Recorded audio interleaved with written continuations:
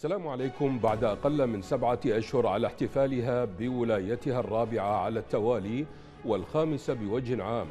ها هي صفحة رئيسة وزراء بنغلاديش الشيخة حسينة تطوى سياسيا على أيدي الطلاب البلغاليين الثائرين الذين أجبروا المرأة الحديدية التي هيمنت على الحكم في البلاد لقرابة عقدين كاملين على الفرار. ومغادرة العاصمة دكا على متن مروحية عسكرية في مشهد يشبه ذلك الذي حدث في المنطقة العربية قبل 13 عاماً. وأمام التظاهرات العارمة التي عمت أرجاء بنغلاديش منذ حزيران يونيو الماضي وسقط فيها نحو 300 مواطن اعتراضا على نظام المحاصصة في الوظائف لم تجد الشيخ حسينة بعد أن اقتحم المتظاهرون مقر رئاسة الحكومة سوى تقديم استقالتها كخيار وحيد بعدما وصلت الأمور بينها وبين الشعب إلى طريق مسدود لتغادر البلاد إلى ولاية البنغال الغربي الواقعة في غربي الهند وسط أنباء عن توجهها إلى بريطانيا. وفي خطاب متلفز له قرر قائد الجيش في بنغلاديش وقر الزمان تولي المؤسسة العسكرية المسؤولية بعد استقالة حسينة معلنا عزمه عقد محادثات لتشكيل حكومة مؤقتة بمشاركة العديد من التيارات السياسية المختلفة داعيا المواطنين إلى الكف عن العنف والثقة بالجيش. وبعد عدة جولات من السجال ومعارك الكر والفر بين الشارع المتمترس بحقوقه والشيخة حسينة المحمية بسلطتها وجندها نجح الطلاب الثائرون في إنهاء حكم المرأة التي حكمت البلاد بالحديد والنار لأكثر من عشرين عاماً. الحكاية باختصار للسادة المشاهدين للتعرف على أسباب هذه الأزمة. في سبعينيات القرن الماضي أسس رئيس الوزراء البنغالي آنذاك الشيخ مجيب الرحمن والد الشيخ حسينة وقائد مسيرة استقلال البلاد. أسس نظام المحاصصة الكوتا والذي يخصص نحو ثلث الوظائف الحكومية لأبناء المحاربين القدماء الذين شاركوا في حرب الاستقلال ضد باكستان عام 1971 كان هذا النظام حينها مقبولا على المستوى الشعبي كنوع من التقدير والوفاء لمن شاركوا في حرب الاستقلال والتحرير. لكن مع مرور الوقت بدأت الأمور تتخذ منحا آخر. فهناك أكثر من 400 ألف خريج يتنافسون سنويا على ثلاثة آلاف وظيفة حكومية. فيما هناك نحو 18 مليون شاب عاطل عن العمل. ضمن هذه المعطيات نطرح مجموعة من التساؤلات. كيف استطاع الطلاب في بنغلاديش إسقاط حكومة المرأة الحديدية الشيخة حسينة؟ على أي الأسس تحرك الطلاب الثائرون ونجحت ثورتهم ضد الحكم الاستبدادي في بنغلاديش وهل ستنعم بنغلاديش بالاستقرار بعد سيطرة الجيش على حكم البلاد؟ هذا ما سنناقشه مع ضيوفنا في برنامج حديث العرب لهذا الأسبوع الذي يحمل عنوان ثورة الطلاب في بنغلاديش. سيكون معنا ضيفا في الاستوديو الكاتب الصحفي البنغالي محمد ذاكر حسين. أستاذ محمد حياكم الله مرحبا بكم. الله يحييك. حياك الله. وعبر سكايب الكاتب الصحفي المتخصص في الشؤون الآسيوية عبد الله خالد هلال. أستاذ عبد الله حياكم الله مرحبا بكم. أهلا وسهلا أستاذ. وسينضم إلينا عبر الهاتف الأستاذ في جامعة غازي عنتاب التركية الدكتور ميزان الرحمن. دكتور ميزان مرحبا بكم حياكم الله. أهلا وسهلا. أهلا وسهلا. مشاهدينا ضيوفنا سنذهب إلى فاصل قصير ونعود بإذن الله.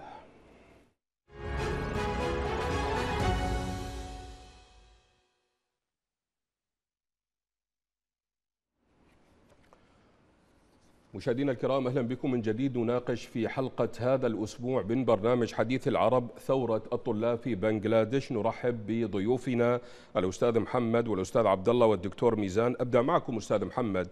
يعني في سبعينيات القرن الماضي كما جاء في المقدمة أسس رئيس الوزراء البنغالي آنذاك الشيخ مجيب الرحمن وهو والد الشيخة حسينة وأيضا يعتبر هو قائد مسيرة استقلال البلاد نظام الحصص أو المحاصصة الكوتا الذين والذي يخصص قرابة ثلث الوظائف الحكومية في بنغلاديش لأبناء المحاربين القدامى الذين شاركوا في الاستقلال ضد عن باكستان عام 1971 ما هو الهدف من تأسيس نظام المحاصصة الكوتا؟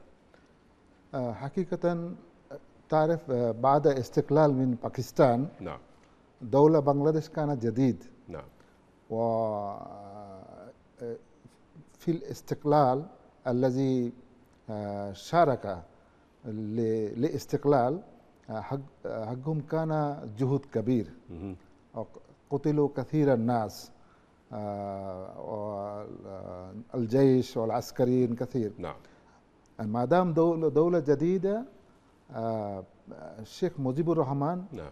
ومسؤولين حق الدولة نعم. وهم فكر يعني نحن حصلنا واحد دولة جديدة. ولازم نحن نعطي فرصة ل لأبناء المحاربين. المحاربين. نعم. فلهذا هم أخذ قرار أن يأتي وظائف تقريبا ثلث يعني الوظائف. 30% نعم. وظائف لأبناء المحاربين. وذلك تقديرا لجهودهم في الاستقلال عن باكستان. يعني أتت الوظائف يعني عرفانا بالجميل للمحاربين القدامى. أليس كذلك أستاذ محمد؟ نعم نعم. نعم, نعم. طيب. أستاذ عبد الله أجدد الترحيب بكم. آه هذا النظام آه كان مقبولا نوعا ما على المستوى الشعبي كنوع من التقدير والوفاء ورد الجميل لمن شاركوا آه في حرب الاستقلال والتحرير من باكستان عام 1971 لكن نلاحظ أنه مع مرور الوقت بدأت الأمور تتخذ منحا آخر.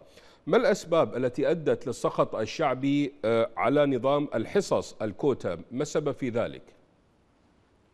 نعم هذا النظام نظام الكوتا إذا نظرنا في في أمره بعد استقلال بنغلاديش تم طرحه من القمة إلى القاعدة يعني من من الرئيس إلى إلى إلى المرؤوسين أو إلى التابعين الذين شاركوا في قدام قدام المحاربين الذين شاركوا في في الحرب ولم يكن بناء على طلب شعبي أو على ضغط من هؤلاء القدامى أو على وإنما كان منحة منه لهؤلاء القدامى وهي كجميع الدكتاتوريات في العالم أو حول العالم يقوم الرئيس أو أو الحاكم ببناء ثلة من الناس حوله يشتري ولاءها ويتمكن من منها ومن من قرارها السياسي لتكون داعمه له في كل عملية سياسية أو في كل مرحلة. يعني هذا هو الهدف البعيد من هذه العملية. فهذا الأمر هو يعني دخيل على التركيبة السياسية والتركيبة الاجتماعية في في البلد. يعني ليست بما أنها ليست حاجة الناس أن يكون هناك 30% لهؤلاء القدامى من المحاربين.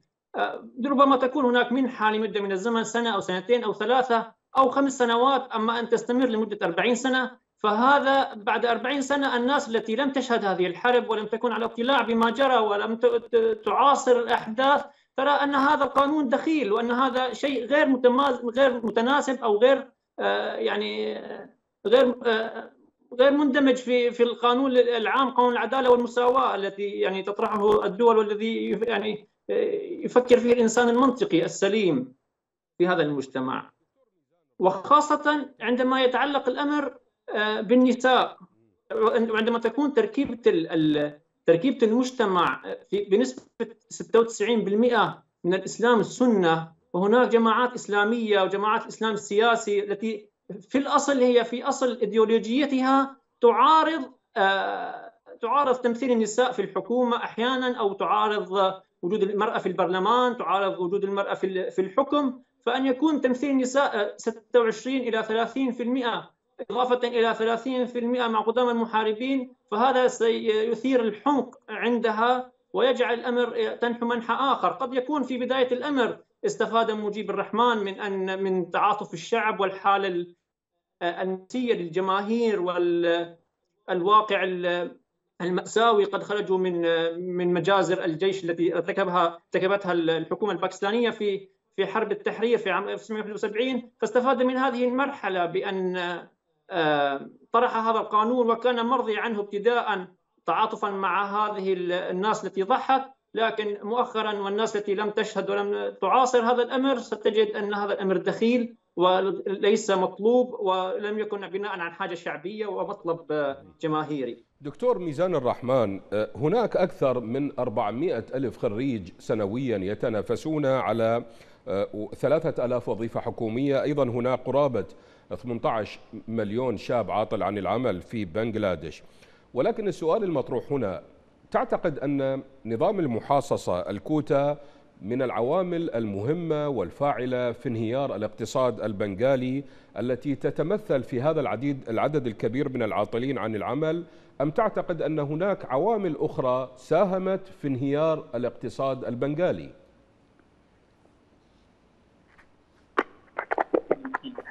دكتور ميزان هل سمعتني؟ نعم آه، هل تسمعني أستاذي؟ آه، نعم. هل سمعت السؤال؟ نعم نعم تفضل نعم يعني آه، لو سمحتم لي أنا أريد أن أقول يعني من البداية يعني من العام 2008 إلى عام 2024 آه، فإن بنغلاديش في طريقها إلى التحرر من سوء الحكم البائس يعني إن أقول صراحة. نعم. وفقا للمعلومات الواردة آه، من المصادر المختلفة يعني فرض حسينة آه، من بنغلاديش في الوقت الحالي الآن في الهند كما سمعنا من الجهاد يعني. لقد ملأت الشيخ حسينة حقيبتها من الخطايا بقتل الجنود في بلكانا في 2009 الذي يقال تمرد آه، حسن الحدود وبمجرد وصولها آه، وصوله إلى السلطة بدعمه العسكري في عام 2008 آه، نعم. يعني بدأت فترة القمع التي تعرضت لها حسينة بقتل سبعة 57 قائدا وطنيا من العسكريين الذين يخدمون في قوات الدرك وهي قوة الحدودية لبنغلاديش وأعدم زعماء الجماعة الإسلامية آه، باسم المحاكمة غير العادلة آه، وقتل آلاف من الطلاب والغواء والرجال والأعمال وعامة الناس. يعني لقد دفعت حسينة البلاد إلى حافة الدمار من جميع الجهات خلال هذه السنوات 15 15 نعم. يعني لها آه، وصف ومع ذلك سبب كبير آخر لسقوطها هو أن المنظمات الحزبية الحكومية آه، لقد ظلموا شعب البلاد. لقد استخدموا الأسلحة على عامة الناس. لقد دعا الناس في كلمة واحدة. لقد قاد الفساد البلاد إلى وضع مخجل في محكمة العالم. دمرت وسائل الإعلام وأغلقت الحكومة جميع آه، جميع وسائل الإعلام الموالية للحكومة باستثناء عدد قليل منها. يعني تم سجن وشنق جميع الصحفيين المعارضين واقتل أفراد من الجيش الوطني على يد تمرد آه، بي دي كما قلنا قبل ذلك. لقد قامت الحكومة بتعذيب العلماء البلاد بطريق عديد بطرق عديدة يعني. وقد قامت الحكومة بمهاجمة آه، ومحاكمة وتعذيب زعماء جميع الأحزاب السياسية المعارضة. آه، وسجن سجن زعيم المعارضة رئيس آه، رئيس الوزراء السابقة خالد ضياء نعم. آه، وقتل جميع كبار قادات الجماعة الإسلامية كما قلنا قبل ذلك. آه، وكان أهم أسباب سقوطها هو المذبحة التي ارتكبتها الشيخ حسينة. أثناء قمع حركة إصلاح الحصص الطلابية يعني قتا كما قلتم. نعم. اعتبارا من الأول من يوليو هذه السنة. وأعلن الطلاب حركة من مرحلة واحدة تطالب بإسقاط آه، باستقالة الشيخ حسينة نعم. بسبب مذبحة زملاء زملائهم آه، في كل أنحاء البلاد وكما هو الحال دائما أرادت الحكومة آه، البقاء في السلطة من خلال نشر الشرطة وكتائب التدخل السريع والجيش البنغالي بنغلاديشي في إطلاق النار على الطلاب في صدورهم ولكن الشيخ حسينة استقالت بسبب برنامج حصار قصر حسينة وأعلنت سقوط حسينة الآن أصبحت عملية تشكيل آه، الحكومة المقبلة آه، مهمة للغاية. يستطيع الجيش الاستيلاء. سنأتي على هذا الموضوع آه، دكتور ميزان الرحمن. سنأتي هذا الموضوع نعم. عملية يعني ربما تولي الجيش زمام الأمور في بنغلاديش. ولكن دعني أنتقل إلى الأستاذ محمد. أستاذ محمد لحظة. okay. أستاذ محمد مع تولي شيخة حسينة السلطة عام 2009 أه، واصلت العمل بهذا النظام نظام الكوتا. ولكن لماذا وصف البعض هذا النظام بأنه طائفي ما السبب في ذلك؟ بخصوص كوتا نعم. آه الذي أنتم سألتموه يعني هذا ما يكفي حتى يلغى هذا كوتا سيستم نعم. لأنه الشيخ حسينة خلال 15 سنة يعني هي يتمتع حكومة سلطة. نعم. ما أنجز مثلا فرص العمل آه، آه، وظائف يعني تجارة أو يعني مثلا مدارس جامعات. نعم. ما ما عمل آه، حتى تحسين الاقتصاد. نعم. نعم. لم تحسن الاقتصاد. بس هو هي اتمعت يعني تمتعت السلطه والحكومة نعم. فلهذا حتى يلقى إيش اسمه قوتا ما يكفي نعم. لوظائف أو لعمل. نعم. الآن يحتاج إنجاز العمل. هذا كان ضروري للسلطة أو للحكومة. طيب طيب. أه، أستاذ عبد الله يعني مسألة تحول النظام إلى أداة في يد رئيسة الحكومة لدعم أنصارها وبالتالي منحهم العطايا والمزايا لتعيين أبنائهم ومعارفهم بينما يغرق الشباب البنغالي في مستنقع من البطالة والفقر. ولكن هل نستطيع ضمن هذه المعطيات التي قبل قليل ذكرتها هل نستطيع أنه من هنا بدأ التململ الشعبي وبالتالي بدأت يعني بذرة الاحتقان كما يراه المراقبون؟ نعم في الحقيقة لكل يعني لكل ثورة على على حاكم أو على على دكتاتور هناك مفتاح لهذه الثورة، المفتاح عادة يكون آه، تفهمه جميع الجماهير أو الطبقة الغالبية من الناس الثائرين أو من الناس المحتجين، لا بد لكي تحرض هذا الإنسان تقول له قم لنمسح نظام الحكم أن تبين له واقعة مفهومة واضحة يشعر فيها بالظلم، فالواقعة الأساسية التي اعتمد عليها الطلاب والمحتجون ودكاترة الجامعات في في إشعال هذا الشعب هي في إفهامه أن هذا النظام يضطهدهم ويأكل حقوقهم ويتعامل معهم بطبقية وتمييز وما إلى هنالك هي هذه المسألة مسألة الكوتا لأنها مفهومة وواضحة لدى الجميع. أما كما تفضل الدكتور ليست آه، الكوتا وحدها هي التي سببت البطالة وسببت الفقر لدى المجتمع وأدت إلى الثورة. وإنما مسألة الفساد الاقتصادي والانهيار الاقتصادي والركود الذي وصلت إليه بنغلاديش. فلو أنت يعني هناك نمو وكثافة سكانية متزايدة. فلو عدنا إلى عام 1901 عندما آه، كانت بنغلاديش 19 مليون فقط 19 مليون آه، إنسان. بينما بعد 100 عام عام 2000 أو 2019 تقريبا أو إحصائية 2020 بنغلاديش 1170 مليون. نعم. هناك تزايد آه، بشكل كبير يعني تقريبا لكل واحد كيلو متر مربع هناك 900 شخص يعيشون. وبين وبين كل 80 أشخاص في بنغلاديش هناك واحد عاطل عن العمل آه، مثل ما تفضلت في المقدمة البطالة آه، مؤشرها يرتفع ويزداد بشكل كبير والنمو السكاني يزداد بشكل كبير. وليس هناك حلول من الحكومة وإنما الحكومة تقوم فقط باضطهاد المعارضين بحماية آه، عرشها وحماية الأقلية ذات النسبة القليلة من هؤلاء قدام المحاربين الذين باتوا يعني من العجائز. نسبتهم لا تتجاوز 2 بالألف تقريبا أو إذا زالت في أعلى مستوياتها في بعض المقاطعات 12 في الألف فهذه نسبة جدا ضئيلة بالنسبة لعموم الشعب وبنغلاديش. ثالث دولة إسلامية أو ثالث دولة في جنوب آسيا من حيث عدد السكان. ولديها موارد مائية هناك 58 نهر يمر في بنغلاديش.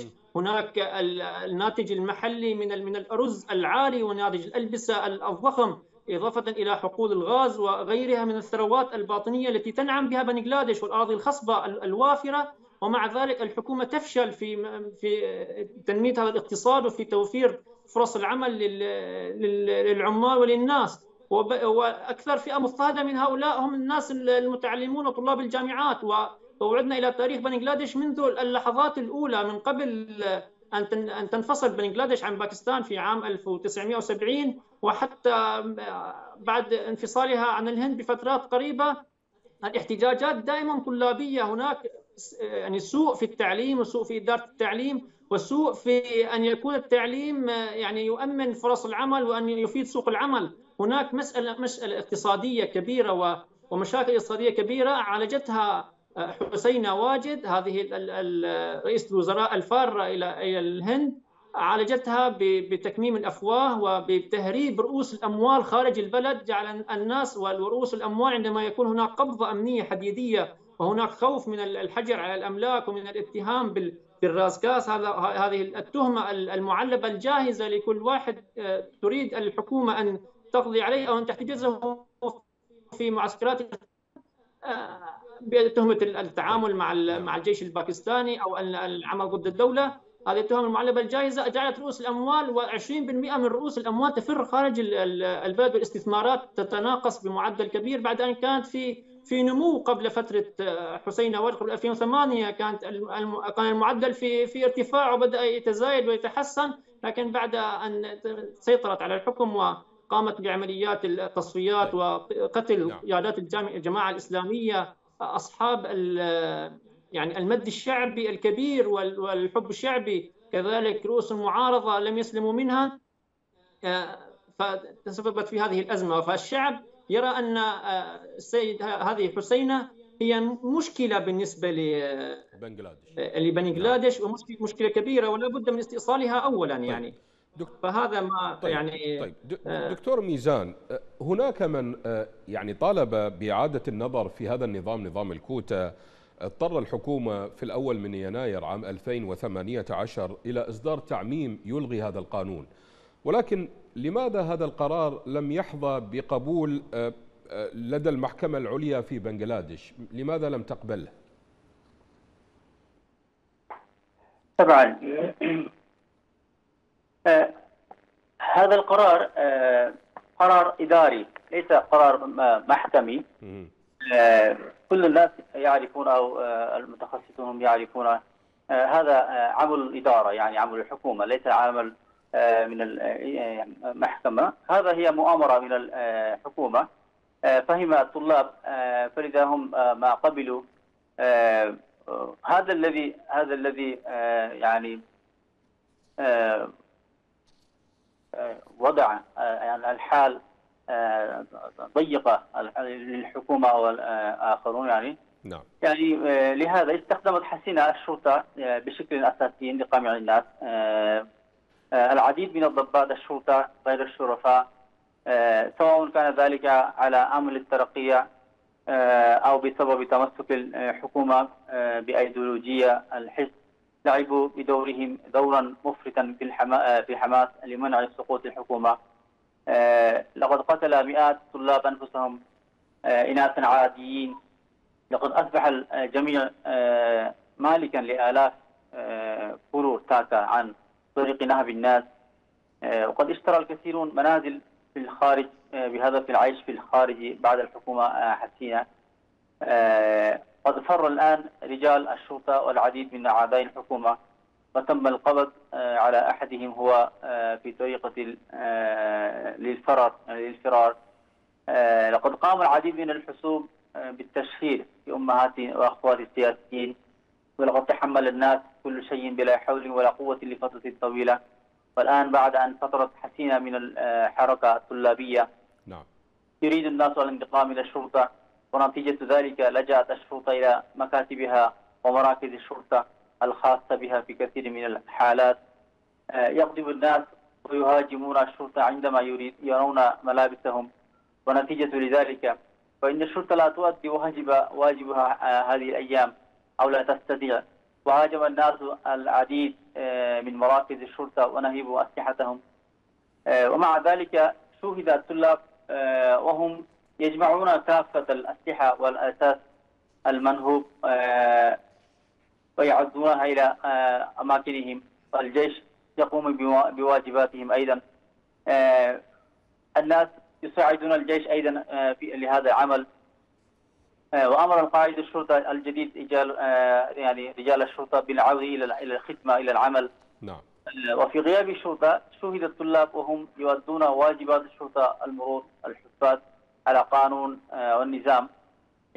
يعني كل هذا بقرار الخطأ من من إدارة يعني من الحسينة إن هي قامت من البداية آه، آه، يعني صحة النية بصحة يعني يكون أفضل من هذا من نعم. هنا يعني. نعم.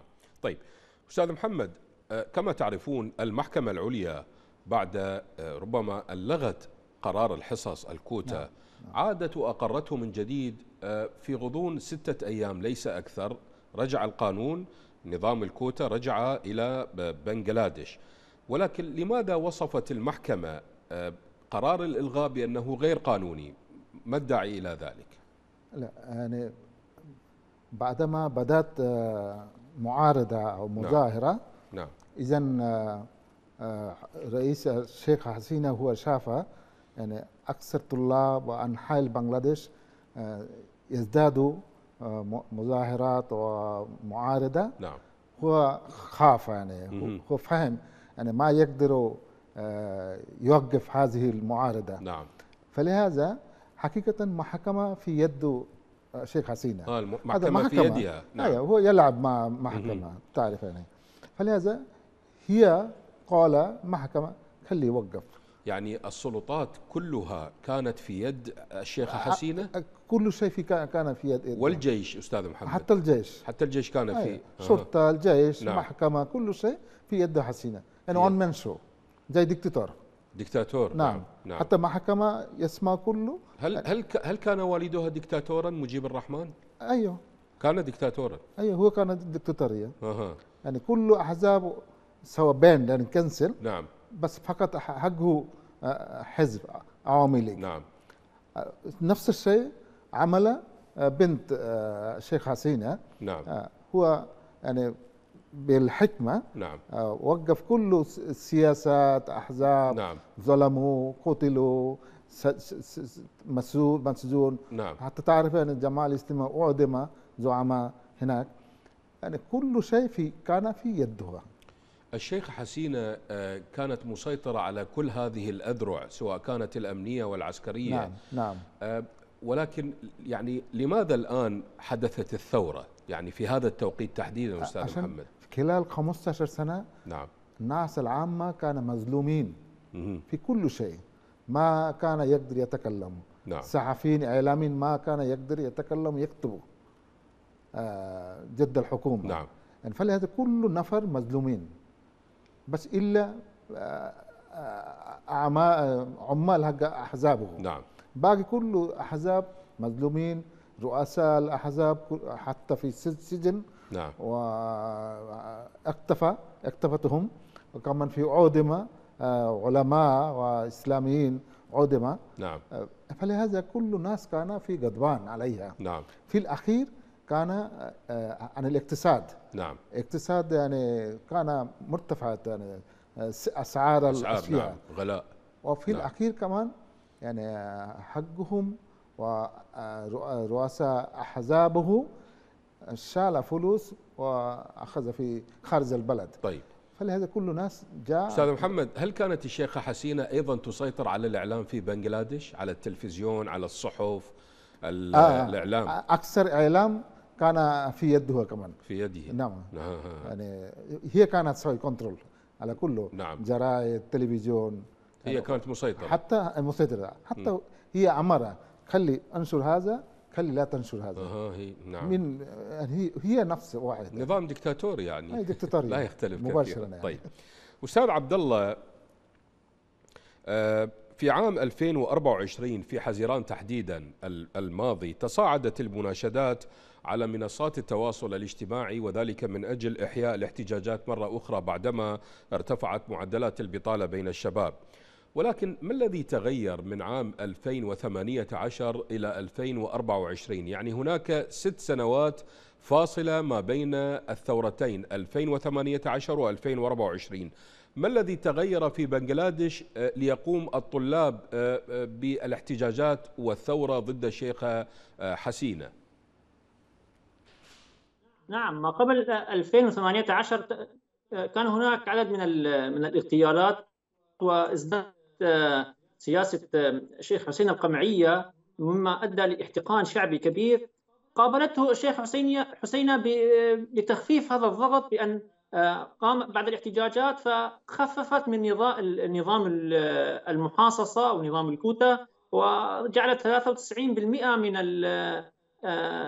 من النظام قائم على على الكفاءة. هذا يعني ووعدت بالإصلاحات ووعدت بمزيد منها في في المراحل القادمة. هذا مما جعل الأحزاب بعد يعني بعد هذه الوعود بأن تخفض من من تصعيدها لكن وتنتظر هذه يعني هذه الوعود ونتائجها. لكن أزمة البطالة تفاقمت ورغم قرار 2018 إلا أن البطالة استمرت ومعدلاتها ازدادت يعني زادت وتيرة الارتفاع فيها. ولم يكن هناك خطوات جادة لحل هذه المشكلة وضربت البلاد ركود اقتصادي بعد وبالأخص تواكب هذا الأمر مع جائحة كورونا ومع العديد من الفيضانات. يعني القدر لم لم يحالف حسينة هذه المرة. بأن تقوم ببعض الإصلاحات الزائفة أو بعض الأمور وإنما يعني زاد همها هما فوق هم. و والناس انتظرت هذه الإصلاحات ولم بل زادت سوء زاد وضعها سوءا وزاد التفاوت الاجتماعي وأصبح هناك كانت تعد هي في 2018 وقبلها أنها في 2021 ستكون بنغلاديش دولة رقمية بنسبة 99% لكن ما حصل أن هذه الرقمنه التي وعدت فيها بنغلاديش جعلت الشباب البنغالي ينفتح على السوشيال ميديا وعلى الأخبار ويرتفع وترتفع نسبة الوعي عنده وتزداد نسبة اطلاعه على ويقرأ في نتائج الثورات ويقرأ في تاريخ الثورات. وكما تعرف أنت ما بين مرحلة 2010 إلى 2020 هذه المرحلة كانت يعني الثورات العربية والربيع العربي لم تظهر نتائجه بعد وإنما آه، بعد 2020 إلى 2024 الناس درست أو أخذت الدروس من هذه الثورات وكيف فشلت في بعض البلدان وكيف سيطرت الجيوش على على الحكم في بعض آخر وكيف أودت في بلاد أخرى إلى الانهيار الاقتصادي الكامل والحصار المطلق. فالوعي ازداد لدى الشباب البنغالي. هذا ما جعل الأمور تنحى يعني نحو آخر مع الشيخ حسينة. مشاهدينا ضيوفنا الكرام هناك سؤال في غاية الأهمية. هل ستنعم بنغلاديش آه، بالاستقرار بعد رحلة المرأة الحديدية الدكتاتورية كما وصفها آه، ضيفي آه، الأستاذ محمد ذاكر. مشاهدينا الكرام سنتابع هذه التفاصيل ولكن سنذهب إلى فاصل قصير ونعود إليكم إن شاء الله.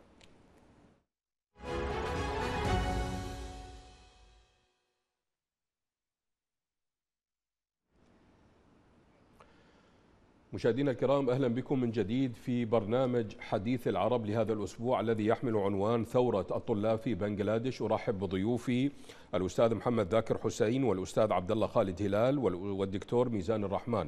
دكتور ميزان آه، اضطرت الشيخة حسينة إلى مغادرة البلاد آه، بعد آه، اقتحام المتظاهرين لمقر رئاسة الوزراء وغادرت فورا ليطيح الطلاب آه، الثائرون بالمرأة الحديدية التي حكمت بالحديد والنار حكمت آه، بنغلاديش ولكن السؤال المهم بعد هذه الثورة ونجاح هذه الثورة الطلابية وأيضا العمال إلى جانبهم هل ستنعم البلاد بالاستقرار بعد سيطرة الجيش على مقاليد الحكم بشكل مؤقت في البلاد؟ نعم. نعم. آه، سيتم تشكيل حكومة انتقالية وحكومة مؤقتة آه، جديد في بنغلاديش اليوم آه، حتى في هذه الوقت يعني. نظرا لمطالب المجتمع الطلابي الثوري يتم تشكيل هذه الحكومة برئاسة الدكتور محمد يونس الحاجز حائز على جائزة النوبل. نعم. ربما لقد تم بالفعل الترحيب الدكتور يونس من جميع الجهات آه، بما في ذلك حزب المعارضة الرئيسي الحزب القومي البنغلاديشي والحزب الإسلامي الرئيسي الجماعة الإسلامية. ويقال آه، أن الحكومة الجديدة آه، تضم خمسة خمسة عشر عضوا وفي الوقت الحالي نعم. يجب السيطرة على وضع القانون والنظام في بنغلاديش. وبعد ذلك يجب إصلاح المباني والمنازل المتضررة آه، بعد استقالة شيء حسينة آه، طبعا تحدث مثل آه، هذه الأحداث في البلاد وكان أدار عامة الناس ظهورهم لهؤلاء الطلاب الثوريين أعداء قوة استخبارية استخباراتية أنشأتها حسينة يعملون في الميدان لديهم ولديهم خطة خاصة لذلك. تشمل خططهم يعني يعني في غضون أيام بعد حسينة.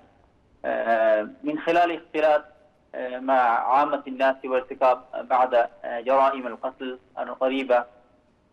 هناك تحت شعار النار يعني تكبير يكبرون الناس. نعم. يتم نشر فيديو على وسائل التواصل الاجتماعي. يوجد هناك هدف أيضا في الأساس سيتم القيام بهذه الحركة لتأسيس جماعة إسلامية والآخرون للعالم ويجب على الحكومة الجديدة يعني قمع قمع هذه المؤامرات ومع نعم. ذلك فإن الأمل في هذه الحالة هو أن تعمل جميع الأحزاب السياسية الطلابية عامة وخاصة خاصة قادة الجماعة الإسلامية والأحزاب الإسلامية الأخرى وعلى منع هذه الأنشطة المدمرة ومع ذلك تجري الحوادث الهجوم وقتل ونهب واسعة النصر على الأقليات. وسيتم تداول تلك الفيديوهات والصور على وسائل التواصل الاجتماعي كما فعلوا قبل ذلك. يعني وقد فعل حزب حسينة ذلك مرات عديدة من قبل يعني. نعم. طيب. بهدف إثبات أن الأقليات ليس آمن ليست آمنة لأي لأي شخص باستثناء حسينة. وخلق فرصة للهند للتدخل داخل بنغلاديش بحجة من الأقليات. فلذا هم إن شاء الله فعلوا. وقد لعب الحزب الإسلامي الرئيسي الجماعة الإسلامية والعلماء أفضل دور في مواجهة هذه المؤامرات. وقد خصصت الجماعة الإسلامية فروعها المختلفة. لحراسة منازل المباني الدينية بمجتمع الأقليات المحلية. لا تزال هناك حوادث هجمات يتم التصدي لها بمساعدة الجيش. مع ذلك التدمير يوجد أيضا تدمير محطات توليد الطاقة أو الجسور الكبيرة أو المصانع. هذا الأعمال هذه يعني أفعال نعم. فعلت حسينة قبل ذلك أيضا. يوجد أيضا هناك هدف الإصلاحات تصبح تحديا للحكومة المقبلة الحكومة القادمة يجب أن تفشل في إدارة البلاد نعم. أظن هم فعلوا إن شاء الله. يعني أنت مطمئن لسيطرة الجيش بشكل مؤقت؟ أستاذ الدكتور دكتور ميزان؟ عفوا أستاذي. هل أنت مطمئن لسيطرة الجيش بشكل مؤقت على بنغلاديش دكتور؟ يعني آه الجيش لا يسيطر الجيش يساعد الطلاب مم. طيب. الجيش يساعد الطلاب الطلاب لا لا يطلبون السيطرة من الجيش طيب سنستمع إلى رأي الأستاذ محمد ذاكر أستاذ محمد هناك من يشكك بقدرة الجيش على تسيير أمور البلاد نحن نعلم والتاريخ ثبت ذلك نعم. أن الجيش عندما يمسك السلطة لا يتركها بسهولة هل أنت تثق بالجيش أنها تحكم بنغلاديش بشكل مؤقت لحين آه، صيرورة آه، عمل انتخابات برلمانية مبكرة مثلا؟ لا حقيقة الآن الجيش آه، هم هم يحاولوا تشكيل حكومة مؤقتا برئاسة محمد دكتور محمد يونس طيب بعدما تشكيل حكومة مؤقتا الجيش يرجع إلى مكانه يرجع إلى عمله. لكن أنت قلت أن الجيش سيطرت عليه حسينة. هذا إذا كان حسينة في السلطة نعم. في الحكومة. نعم. الآن حسينة خارج السلطة. خارج خارج, خارج السلطة. لكن الجيش رئيس الجيش هو نيوتل نعم. نيوتل نعم. ونحن نأمل يكون جيد يعني جيد يكون جيد وهو رئيس البلد حاليا. نعم. محمد شهاب الدين. نعم. هذول اثنين الآن سيتحيل تحويل ومناقشة مع أحزاب السياسية لتشكيل حكومة مؤقتا أستاذ محمد ماذا لو تمسك الجيش بالسلطة ورفض أن يغادرها؟ ما هو الخيار أمام الشعب البنغالي؟ آه الشعب البنغالي ما يستقبله ما م. يعني يستنكره على طول يعني. نعم. يعني ما يوافقه. لا يوافق. ما يوافق. ربما سيحدث ثورة جديدة. ثورة جديدة. نعم. ثورة ثالثة. ثور تصح. نعم. أستاذ عبد الله حقيقة هناك خشية من تسلط الجيش على حكم البلاد وذلك من أجل يعني بذريعة إعادة الأمن والاستقرار بعد الاضطرابات الأخيرة. هل هذا التخوف في محله أستاذ عبد الله؟ في الحقيقة الجذور التاريخية والتجارب الحديثة والقديمة تثبت أن الجيش عندما يتسلم زمام الحكم والسلطة في البلاد آه، لا يمكن انتزاعه إلا بانقلابات مماثلة بانقلاب عسكري كما حدث في باكستان في انقلابات متتالية وما حدث في عديد من الدول العربية والإسلامية وحتى في دول العالم الثالث عندما يسلم الجيش الحكم يصبح من الصعب أن أن تعود السلطة مدنية بحتة. والآن هناك تخوف كبير في في بنغلاديش بهذا الشأن.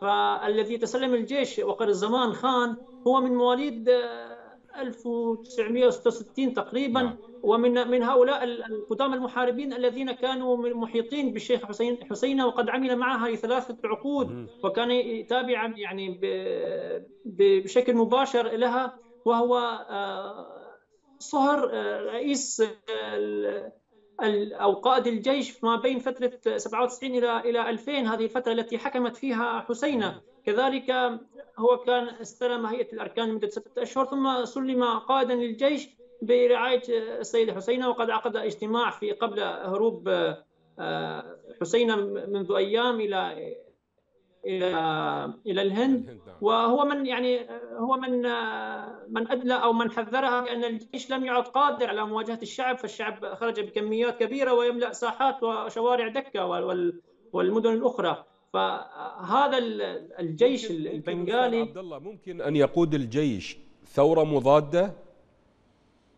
يعني يرجع يرجع السلطة الحاكمة ب ب يعني ليس شرطا أن تعود الشيخه حسينة ولكن تعود السلطة الحاكمة. ممكن؟ نعم قد يك... الآن محمد شهاب الدين رئيس رئيس الحكومة هو من قدام المحاربين هؤلاء الذين في رابط عوامي وعندما انتخب رئيسا انتخب بدون أن يكون له أي منافس. يعني كان المرشح الوحيد من رابطه عوامي وكانت رابطه عوامي هي الحاكمة هذا الحزب الذي ترأسه آه، حسين واجد. نعم. وشغل قاضي لمدة طويلة قاضي جلسات وهو أحد من آه، من حكم على قيادات الجماعة الإسلامية بالإعدامات يعني المتكررة.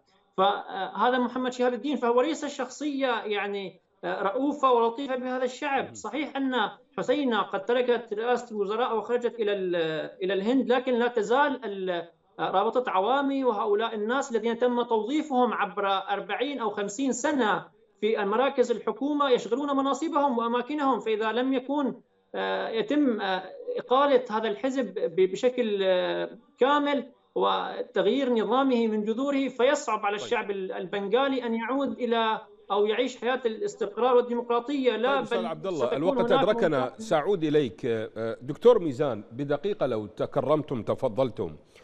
آه، ما مدى قبول الشعب البنغالي الديمقراطية؟ هل سيشهد مزيد من الاضطرابات كما حدث في بعض الدول العربية بعد ثورات الربيع العربي؟ هل سيستقبل الشعب البنغالي الديمقراطية برحابة صدر؟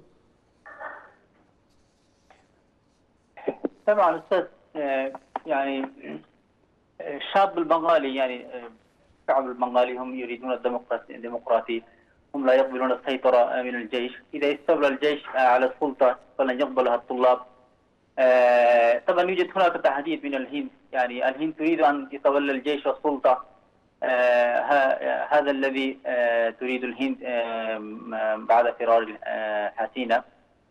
ولكن قائد الجيش الحالي لم يوافق آه، كما سمعنا من حجات من آه، يعني لأن الكثيرون يعتقدون أنهم يريدون آه، نعم. إراقة المزيد من الدماء لقمع هياج الطلاب طبعا يوجد هناك بعض الرجال في الجيش هم يريدون يطلبون السيطرة ولكن الآن قائد الجيش جيش كما سمعنا أو كما رأينا طيب.